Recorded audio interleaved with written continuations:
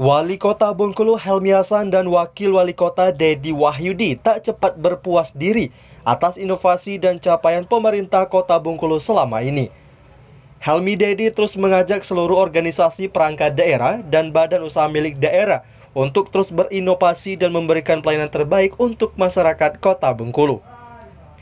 Kali ini, Helmi Dedi akan memproduksi air minuman Hidayah Water bersama PDM Tirta Hidayah Keseriusan Helmi dan Dedi untuk meluncurkan HD Water sangat kuat. Itu mereka tunjukkan dengan melakukan peninjauan dan memastikan progres tempat produksi air minum dalam kemasan milik PDM Tirta Hidayah. Helmi Dedi didampingi Direktur PDAM Tirta Hidayah Sobirin Hasan melihat berbagai progres yang dilakukan PDAM Tirta Hidayah dan dalam waktu dekat Kota Bungkulu akan memiliki AMDK sendiri.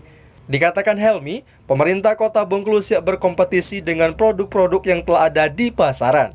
Alhamdulillah uh, rencana untuk masuk ke bisnis atau di, di uh, level ini ya air minum di level air minum sudah kami mulai yaitu kami memulai dari membangun gedungnya sudah kami mulai in progress saat ini jadi gedungnya akan kami Eh, kami alih fungsikan dari yang sebelumnya itu adalah aula kantor, kami alih fungsikan menjadi uh, gedung atau rumah produksi uh, air minum dalam kemasan. Insya Allah nanti uh, nama yang diberikan atau mereknya adalah Hidayah Water.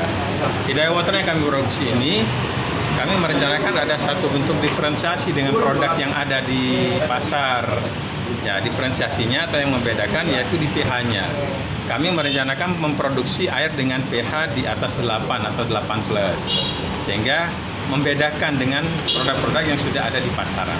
Mudah-mudahan mohon doanya masyarakat bisa menerima produk kami dan uh, kehadiran dari Hidayah Water ini menjadi keberkahan bagi semuanya.